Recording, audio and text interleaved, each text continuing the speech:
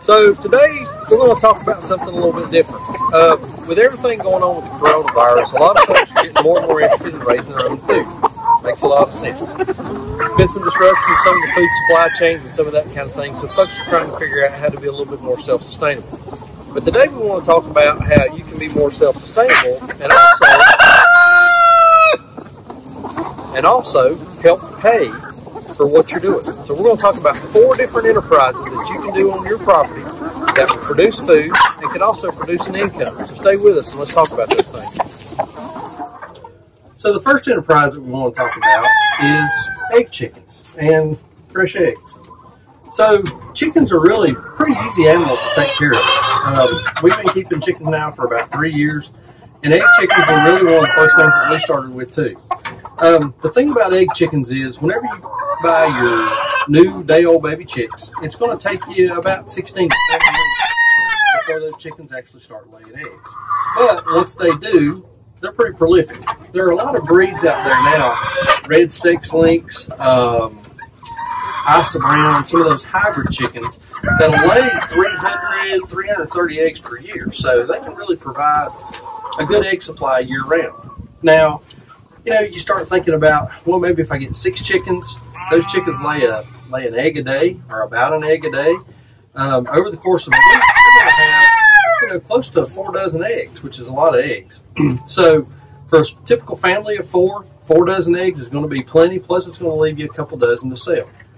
Eggs are super easy to sell. Sell to your neighbors, your friends, your coworkers. Um, the folks that I work with absolutely love it whenever I bring fresh eggs in. Um, so during the winter, we've got a lot of extra eggs. We don't have a whole lot of whole lot of egg sales through the winter. Uh, during the winter, we do have a lot of extra eggs, and I take those to work, and, and folks love them. Your neighbors, a lot of your neighbors, if you've got chickens, uh, they they be tickled to death to get fresh eggs. And also, eggs are a real good. Um, real good peace offering if you've got a chicken that might have got over onto somebody's porch and you know left a little special surprise or something from there. But again, egg chickens, great enterprise, easy to get into. Barrier to entry is super low. The downfall is it's going to take about 16 to 20 weeks before you start getting uh, before you start getting those eggs. Another benefit to chickens, they're great for kids. A lot of good lessons to be learned. So another really popular enterprise to get into that you can raise your own food and also sell some excess and make a little money for your farm or your homestead is meat chickens. Meat chickens are kind of like, I've heard them described as the radishes of the meat world. Um, these are Freedom Ranger chickens. Um, we get these chickens as uh, day-old baby chicks, raise them in the brooder for about three to four weeks, and then they come out into one of these, one of these Suscovich style chicken tractors. From there, we practice daily moves. They receive a, a feed ration, plenty of water, and every day they get fresh grass, bugs, worms, grubs, and that kind of thing to eat on. The nice thing about meat chickens is, again, the barrier to entry is really, really low. All you need is just a simple tractor and you can build these for about, eh, parts, materials, the whole deal. I think it's about $275. Um, and you can store, you can keep 30 birds in here. So 30 birds, um, that gives you 15 to eat, uh, 15 to sell, or if you want to do a couple batches per year, you know, you could do as many as 60 to keep for yourself and 60 to sell. Everybody eats chicken. Chicken is a real popular item. Um, this chicken is much different than what you're going to get in the grocery store. You'll find for your own table that it's got a much better flavor, a different texture, cooks up better, and it's just a, a much better product overall. From there, you're not going to have any trouble selling it. Um, there are a lot of folks out there that are looking for fresh chicken. They're looking for food that's been raised locally, been raised ethically, and chicken is a great starter. It's really, really easy for, buy, for people to buy a pack of breasts or a pack of leg thigh quarters uh, and fix those at home and get used to eating uh, some homegrown chicken. Uh, my wife describes it as the first time she ate one of these chickens, she was five years old again. That it just took her back to whenever she was young and her grandparents would raise chickens and they would fix chickens at home.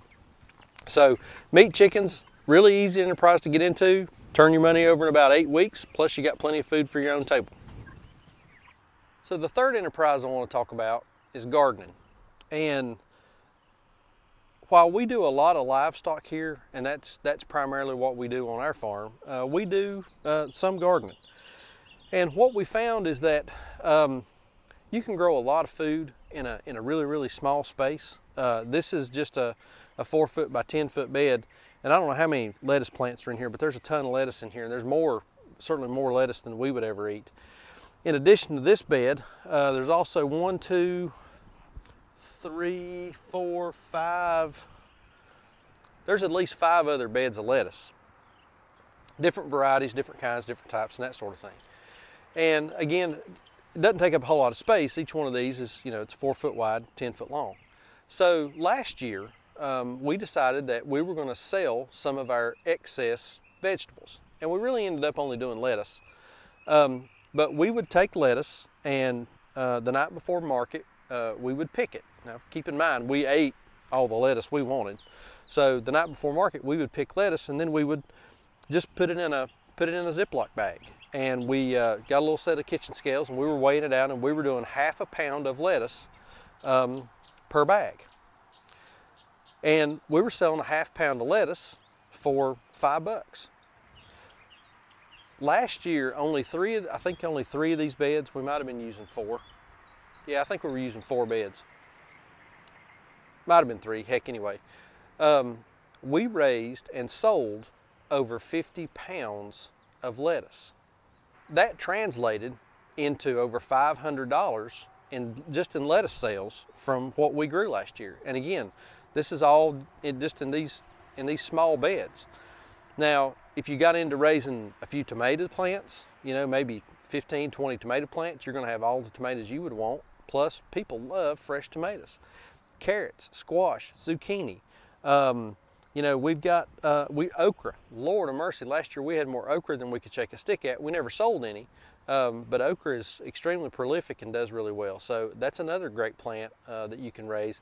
You get plenty of food, plus you can sell it and make a little bit of money on it too and pay for your enterprise. You can help pay for your plants, your seed, your compost, the materials to build your beds out of, and then you end up basically eating for free. So that's another, you know, gardening is another great enterprise that you can uh, that you can get into, where you can raise your own food, have plenty to eat, and still have plenty to sell, and make a little money along the way.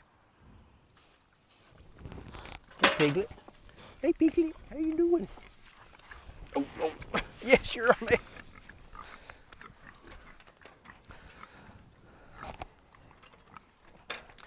And so finally, if you're feeling uh, if you're feeling extra froggy and feeling like taking on a real challenge, um, pigs. Pigs are a great homestead animal um, for you and your family to raise out to put food on your table. Um, on average, we raise our pigs out to be about seven months old. Uh, when they go to processing, they're somewhere around the 350, uh, 350 pound range, which ends up being a whole lot of meat. Now, pigs do better if you have more than one. Um, a lot of folks recommend if you're going to get a pig, just go ahead and get three. So, you know, of course we raise on a little bit bigger scale, but if you're interested in raising your own food and then having some extra to sell to help pay for your, uh, to pay for your enterprise, pigs are outstanding. Pigs are going to take a little bit longer. Again, pigs are going to take you about uh, five to seven months to get them ready to go to processing. Um, there's going to be more feed cost involved, uh, a little bit more infrastructure uh, than the other um, than the other enterprises that we've talked about so far. And I'll post a link up above on exactly what it costs to get started with pastured pigs. But with pigs, what a lot of folks recommend, and we certainly would recommend this as well, is that you buy one or you, you get three, you keep one for yourself, and then you sell the other two. You'd be surprised at how many folks, especially now with the whole coronavirus thing going on, are looking again, just like the chicken we talked about earlier, are looking for locally grown, ethically raised meat. Pastured pigs are a phenomenal animal to get into. Um, again, pigs are easy keepers. They're not difficult to keep once you get them trained on electric, and we've done a video on how to train your pigs on electric, how to set up your pig paddocks, and I'll post links to those either up above or down in the description below. But again, pigs are just awesome animals. Um, one for yourself, two to sell, and uh, they'll pay for themselves and uh, uh, and make you a little money to go in your pocket too. Old timers used to call them mortgage lifters, uh, and there was a reason for that.